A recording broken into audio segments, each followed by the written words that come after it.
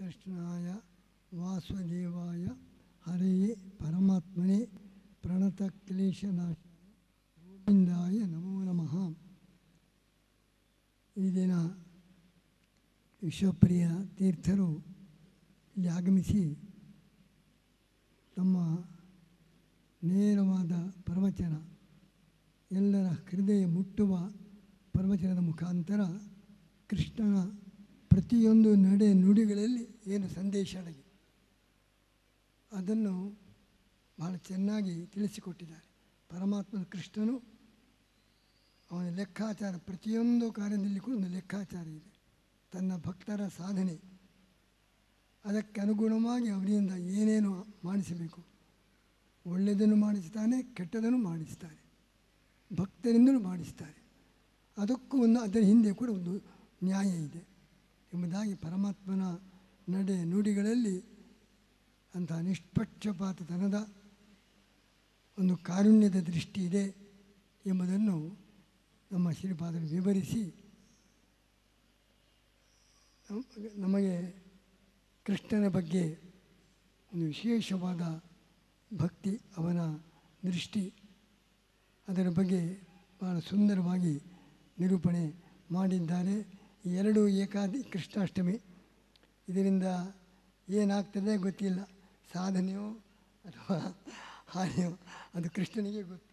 ಆ ಎರಡು ಕೃಷ್ಣಾಷ್ಟಮಿಯ ಏರ್ಪಾಡು ಮಾಡಿ ಯಾರಿಗೆ ಏನು ಮಾಡಬೇಕು ಅಂತ ಕೃಷ್ಣನ ಉದ್ದೇಶ ಉಂಟು ನಮಗೆ ಅರ್ಥವಾಗುವುದಿಲ್ಲ. ಅಂತ ಕೃಷ್ಣನ ದೃಷ್ಟಿಯೇ ಬಹಳ ವಿಶಿಷ್ಟವಾದದ್ದು.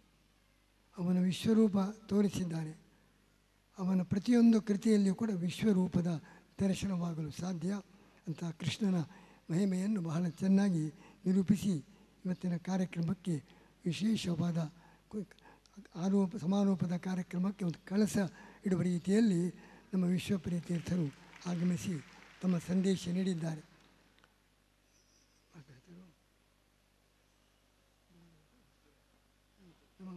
ಪುತ್ತೂರಾಯರು ಅವರ ಹೆಸರಿದ್ದಕ್ಕಂತೆ ಅವರು ಮುತ್ತು ರಾಯರು ಮುತ್ತಿನಂಥ ಮಾತುಗಳು. ತಮ್ಮ ಮಾತುಗಳಲ್ಲಿ ಒಂದೊಂದು ಮಾತಿನಲ್ಲಿಯೂ ಕೂಡ ಒಂದು ಸೂತ್ರ, ಜೀವನ ಸೂತ್ರ ಅಡುವ ರೀತಿಯಲ್ಲಿ ವಿಶಿಷ್ಟವಾದ ಮಾತಿನ ಮಂಟಪ, ಕೃಷ್ಣಾಷ್ಟಮಿ ದಿನ ಹೂವಿನ ಮಂಟಪದ ಬದಲು ಮಾತಿನ ಮಂಟಪವನ್ನು ಕೃಷ್ಣನಿಗೆ ಅರ್ಪಿಸಿ, ಆ ಮೂಲಕ ತಮ್ಮ ಭಕ್ತಿಯನ್ನು ವ್ಯಕ್ತಪಡಿಸಿದ ಪುತ್ತೂರಾಯರನ್ನು ಕೂಡ ಈ ಸಂದರ್ಭದಲ್ಲಿ ನಾವು ಅಭಿನಂದಿಸಿ ಶ್ರೀಕೃಷ್ಣನವರನ್ನು ಅನುಗ್ರಹಿಸಲಿ. ಅವರು ತಮ್ಮ ಮಾತಿನ ಧಾರೆ ಸಮಾಜದಲ್ಲಿ ಮತ್ತಷ್ಟು ಹೊಸ ದೃಷ್ಟಿಯನ್ನು ಮೂಡಿಸುವ ರೀತಿಯಲ್ಲಿ ತಮ್ಮ ಮಾತಿನ ಧಾರೆ ಹರಿಯುವಂತೆ ಕೃಷ್ಣ ಅವರನ್ನು ಅನುಗ್ರಹಿಸಲಿ ಎಂಬುದಾಗಿ ಪ್ರಾರ್ಥಿಸಿ. ನಾನೇನು ಹೆಚ್ಚು ಮಾತಾಡುವುದಿಲ್ಲ. ಕೃಷ್ಣನ ಸಂದೇಶ ಶ್ರೀಮದಾಚಾರ್ಯರು ಎರಡೇ ಮಾತಿನಲ್ಲಿ ಕುರು ಭುಂಚುವ. ಭುಂಚುವ ಸುಖ ಅನುಭವಿಸಿರಿ. ಸುಖ ಭೋಗ ಬಿಡಬೇಕಾಗಿಲ್ಲ ಭುಂಚುವ, ಕುರು ಭುಂಚುವ. ಕರ್ತವ್ಯ ಮಾಡಿ ಭೋಗ ಅನುಭವಿಸಿ. ಇದು ಕೃಷ್ಣನ ಸಂದೇಶ. ಕುರು ಭುಂಚ ಕರ್ತವ್ಯ ಮಾಡಿ ಭೋಗ ಅನುಭವಿಸಿ. ಕರ್ತವ್ಯ ಬೇಡ, ಭೋಗ ಮಾತ್ರ ಬೇಕು. ಈ ಥರದ ಮನೋಭಾವ ಇರಬಾರದು. ನಾವು ಮಾಡಬೇಕಾದ ಕರ್ತವ್ಯ, ಅದನ್ನು ಮಾಡಿ ಭೋಗವನ್ನು ಅನುಭವಿಸಿ. ಭೋ ಸಂಸಾರದ ಭೋಗ ಪೂರ್ತಿ ನಿರಾಕರಿಸುವುದಿಲ್ಲ. ಭೋಗಕ್ಕೆ ಅವಕಾಶ ಇದೆ. ಕರ್ತವ್ಯ ಮಾಡಿ ಭೋಗ ಅನುಭವಿಸಿ. ನಮಗೆ ಕರ್ತವ್ಯ ಬೇಡ, ಭೋಗ ಮಾತ್ರ ಬೇಕು. ಕೃಷ್ಣ ಕೊಟ್ಟ ಸಂದೇಶ ನಿಷ್ಕಾಮ ಕರ್ಮ. ಕಾಮನೆಯನ್ನು ತೊರೆದು ಕರ್ತವ್ಯ ಮಾಡಿ ಕೃಷ್ಣ ಕೊಟ್ಟ ಸಂದೇಶ. ನಿಷ್ಕಾಮ ಕರ್ಮ. ಕಾಮನೆ ಬಿಡಿ, ಕರ್ತವ್ಯ ಮಾಡಿ. ನಾವು ಅದನ್ನು ಸ್ವಲ್ಪ ತಿರುವು ಮೂರು ಮಾಡಿದ್ದೇವೆ. ನಮ್ಮದು ನಿಷ್ಕಾಮ ಕರ್ಮ ಅಲ್ಲ, ನಿಷ್ಕರ್ಮ ಕಾಮ. ಕಾಮನೆ ಬಿಡಿ ಕರ್ತವ್ಯ ಮಾಡಿ ಅಂತ ಕೃಷ್ಣ ಹೇಳಿದರೆ ಕರ್ತವ್ಯ ಬಿಡಿ, ಕಾಮನೆಯನ್ನು ಮಾತ್ರ ಮಾಡಿ. ಇದು ನಮ್ಮ ಪ್ರವೃತ್ತಿ. ನಿಷ್ಕರ್ಮ ಕಾಮ, ಕರ್ತವ್ಯ ಬೇಡ, ಕಾಮನೆ ಮಾತ್ರ. ಕೃಷ್ಣನ ಮಾತನ್ನೇ ತಿರುವು ಮುರು ಮಾಡಿ ವಿಕೃತ ದಾರಿಯಲ್ಲಿ ನಾವು ಸಾಗ್ತಾ ಇದ್ದೇವೆ. ಆಚಾರ್ಯರು ಆ ಕೃಷ್ಣನ ಸಂದೇಶವನ್ನು ಈ ಮಾತಲ್ಲಿ ಕರ್ತವ್ಯ ಮಾಡಿ, ಯೋಗ್ಯವಾದ ಭೋಗ ನಿಜಂ, ನೀವು ಮಾಡಬೇಕಾದ ಕರ್ತವ್ಯ ಮಾಡಿ. ನಿಯತಂ ಭುಂಚುವ. ಭೋಗದಲ್ಲಿ ಇತಿಮಿತಿ ಸ್ವಚ್ಛಂದ ಭೋಗಮೇಣ ನಿಯತಂ ಭುಂಚುವ ನಿಜಂ ಕರ್ಮ ಕುರು. ನೀನು ಮಾಡಬೇಕಾದ ಕರ್ತವ್ಯ. ಬ್ರಾಹ್ಮಣನಾಗಿ, ಗೃಹಸ್ಥನಾಗಿ, ವಿದ್ಯಾರ್ಥಿಯಾಗಿ, ಸೈನಿಕನಾಗಿ ರೈತನಾಗಿ ನಿಜಂ ಕರ್ಮ. ನೀನು ಮಾಡಬೇಕಾದ ಕರ್ತವ್ಯ ಮಾಡು. ನಿಜಂ ಕರ್ಮ ಕೊರು. ನಿಯತಂ ಭುಂಕ್ಷುವ. ಸ್ವಚ್ಛಂದ ಭೋಗಮೇಣ ಭೋಗದಲ್ಲಿ ಇತಿಮಿತಿ ಇರಲಿ. ರಾಘವೇಂದ್ರ ಗುರುಗಳು ಒಂದು ಕಡೆಗೆ ಬಂದಿದ್ದಾರೆ. ಅವರಿಗೆ ಭಿಕ್ಷೆ ಏರ್ಪಾಡಾಗಿದೆ. ದೊಡ್ಡ ಪಾತ್ರೆಯಲ್ಲಿ ಮಾವಿನ ಹಣ್ಣಿನ ಸ್ವೀಕರಣೆ ರಸಾಯನ ತುಂಬಿಸಿದ್ದಾರೆ. ಅವರ ಮಗ ಬಂದ ಆಟ ಆಡಿದ, ಅದರಲ್ಲಿ ಮುಳುಗಿದ ಪ್ರಾಣ ಹೋಯಿತು. ಮತ್ತು ಅವರು ಬದುಕಿದರು. ಏನಿದರ ಅರ್ಥ? ಮಾವಿನ ಹಣ್ಣಿನ ರಸಾಯನ ಬೇಕು. ಎರಡು ಸೌಟು, ನಾಲ್ಕು ಸೌಟು ತಿನ್ನಿ, ಕುಡಿ. ಅದರಲ್ಲಿ ಮುಳುಗಿದರೆ ಆ ಹುಡುಗನ ಗತಿ ಏನಾಯಿತು?